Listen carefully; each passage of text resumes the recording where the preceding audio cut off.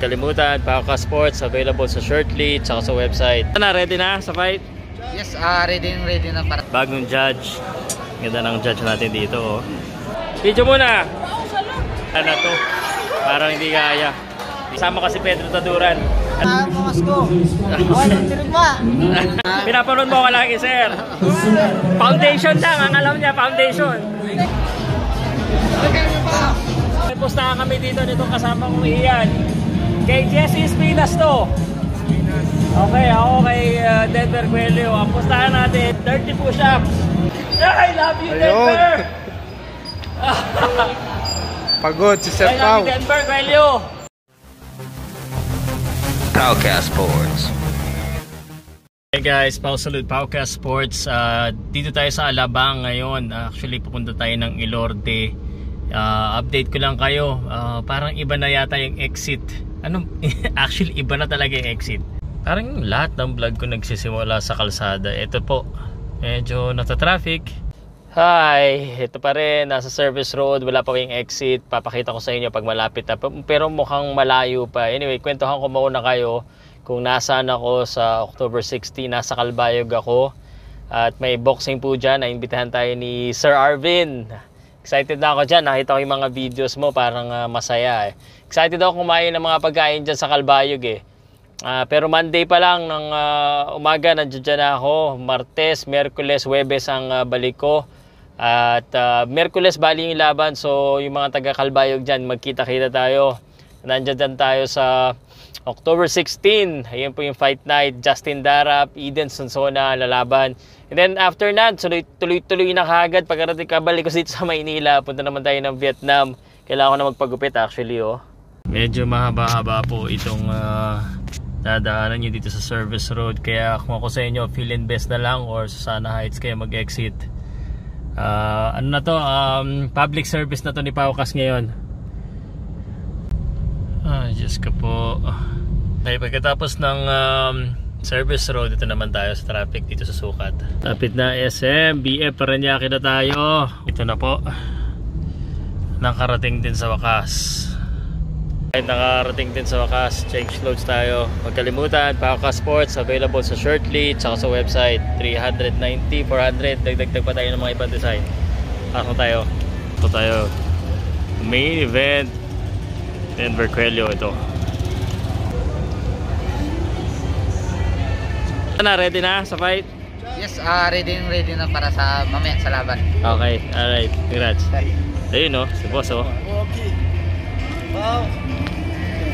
Here go, the event. Medyo malayo yung dinakbay natin na traffic. Night of Champions 19. October 12 dito sa Elorte. Denver Coelho versus Jesse Espinas.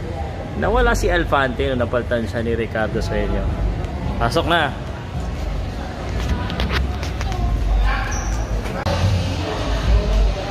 Okay.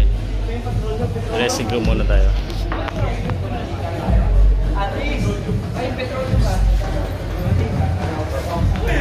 Easy, easy. Ayun o. Si promoter. Jun Gandesa. Nightmare.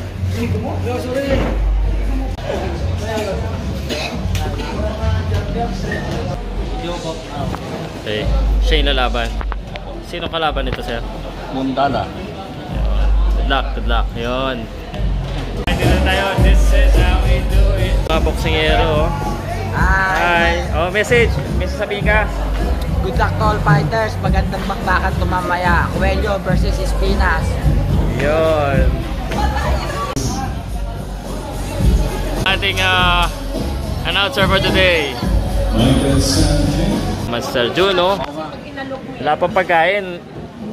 Libre na. Ito pala yung future uh, manager at saka promoter din natin. Yan. Center. Para sa akin ba yan?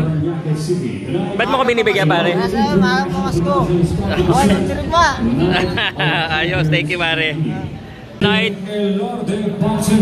Si Audrey, ito po ang ah, bago natin, Altrix siya, bagong judge. Ganda ng judge natin dito, oh. Binigay ko yung pre-fight instructions sa kanina, may may instructions sa all time. Serious. Make it the clean fight. Altrix Senior and has it 30, 30, oh, 38, 37. Let's go! alam mo yan. Interesado ako dito sa laban na to kasi itong si Johanna, napanood ko na. The majority draw. Majority draw. Teammate mo to, di ba? Teammate mo, anong nakikita mo sa laban niya? Pareho lang. Ah, pa, ano na lang yan, paunahan na lang. Paunahan. Oh, pares lang magagaling. O, sinong mauna?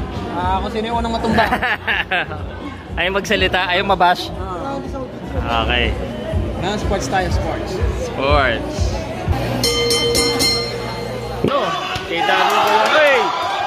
Oy! Sak. Wala na to. Parang hindi kaya. Hindi na. Ganda ng pinakita ni Trinidad. What a showing right here for Erson Trinidad. Congrats sir, ano, yung Gandesa, lupit ng bata mo. Lupit pa rin ni Trinidad. Chairman in the house. Fourth fight. Unanimous decision. Gringo! Navarro! Kaya, kaya gagawin ko na para magkano, maging magkaroon ng pangalan. Okay, nahuli tayo dito, first round. Si Boy may kalabang paring iyan. Si Melvin Manangkin ng BF Homes Lorde at Pausi. For the winner by split decision, Melvin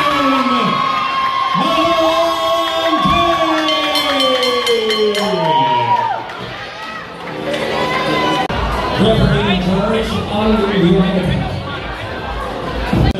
Ano, ano, ano? Yung fight, yung fight video. Alright, mga sunod pa ako Caspers. Na-miss ko to, to. Ano eh. Ano ba nangyari sa'yo? Nawala ka. Medyo nag-focus muna sa ano, full-time na trabaho. Okay, pero mabalik na daw siya. Iyan. Makasunod pa ako kasi kasi Iyan. Dati partner lagi yan sa event eh.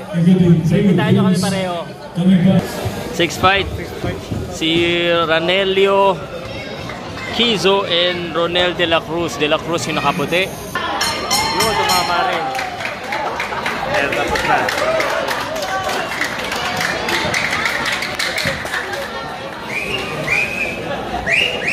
Sunod pa ako sports, kasama ko si Pedro Taduran.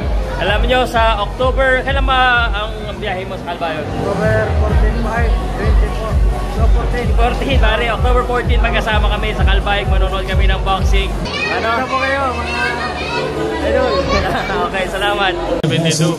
80-72 and Giorgio Llaneros steps about 79-73 all for the winner by unanimous decision Ranel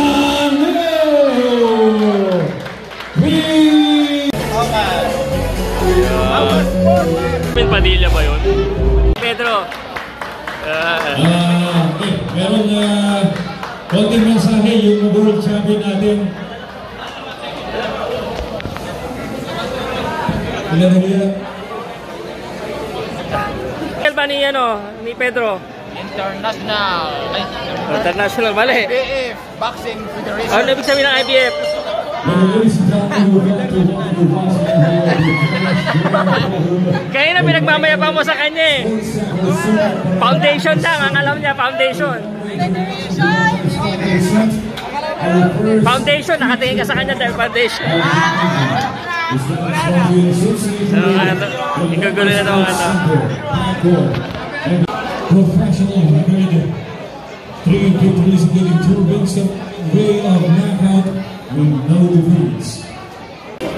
Magandang gabi, Pau Salud, Pauka Sports. Kasama ko si Ian Melodilar. Nandito na naman tayo sa isa na namang nag-aatikabong boxing dito sa Elorde.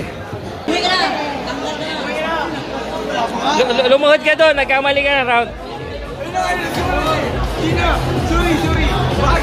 Hum humalik ka, humalik ka. Humalik, humalik.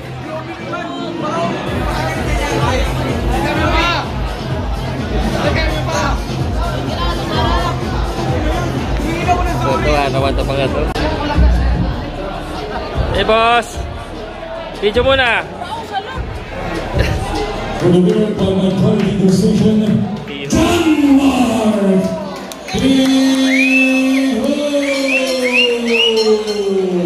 Panalo, John Mark. Salamat, sir. Presenting Boxing Talk Pilipinas. Go! Let's of Right, uh, pang ilan laban na ba tayo? Um, parang ano na to, main fights. Merong imported ah. Nice. Nice exchange again. Oh, and he's down again. 38, we have a majority draw. Sa.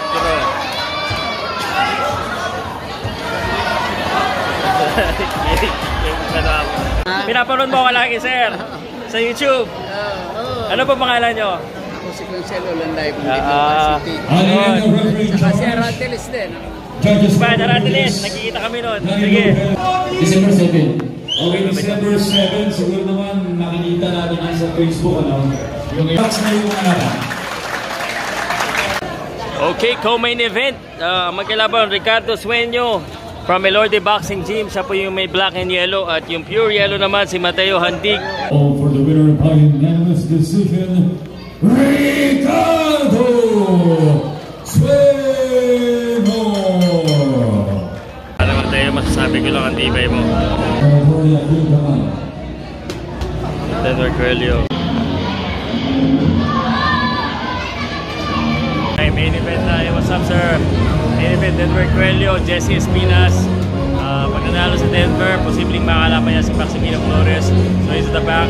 wait for the fight. Let's go. Sunod pa ako sports main event. Denver Coelho, Jesse Espinas. At pag-uusapan na natin, meron ditong pustahan eh. Si Rep. Galingan mo Rep ha. Pero may pustahan kami dito nitong kasama kong iyan. Kay Jesse Espinas to. Okay, ako kay uh, Denver Coelho. Ang pustahan natin, pag knockout, 30 push-ups. Okay ha, 30 ha. Pwede namang uh, hindi sabay-sabay. And then pag uh, sa akin si Jesse Espinas, pare kay Denver Jesse Espinas. Ah, pag uh, nanalo Champion. si Espinas, may lunch ka, dinner ka pa sa akin. Okay, bibili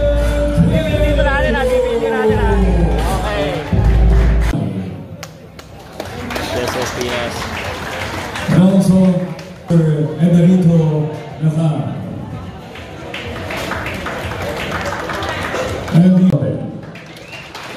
Medyo Loani. Ano po siya, medyo malabo. Yan. Hey! Here we go, the main event. Espinas. From Iligan City, Lanao del Norte, siya po yung nakapula. At si Denver, The Excitement Coelho, taga Rizal, Binangonan, CYDC, Denver Coelho, Excitement. October 24, World Championship. Round number 2 with uh, the famous boxing uh, celebrity, ayan o, Edmond.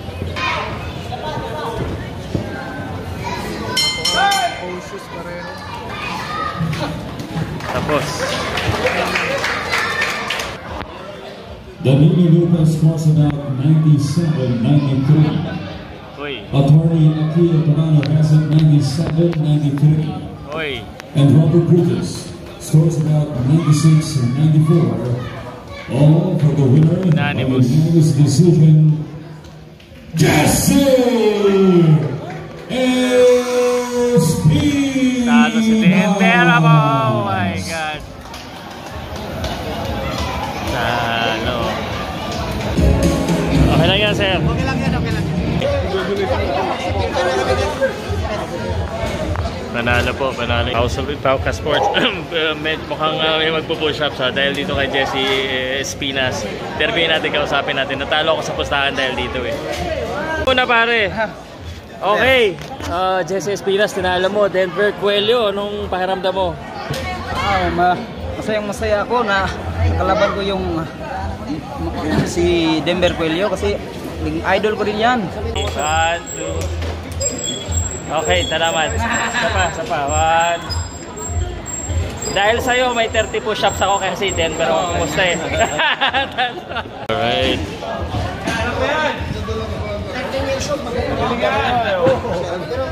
Tapos na yung iba.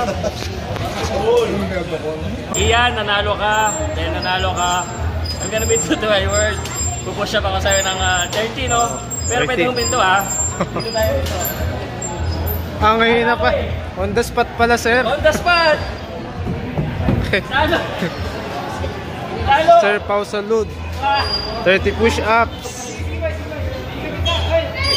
5, 6, 8, 9.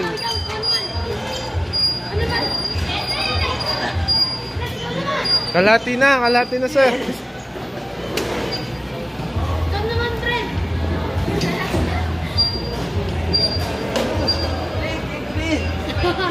Last 5.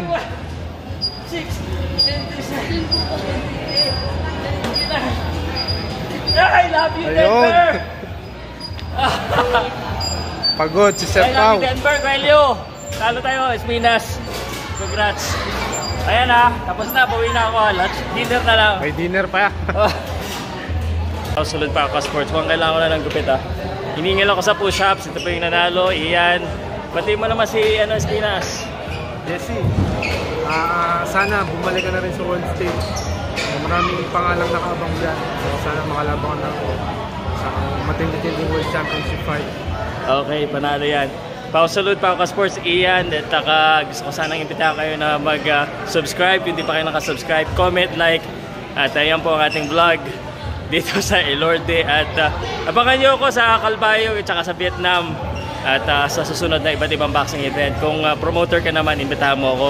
Pwede akong mag-announcer, commentator at saka live streamer. Thank you!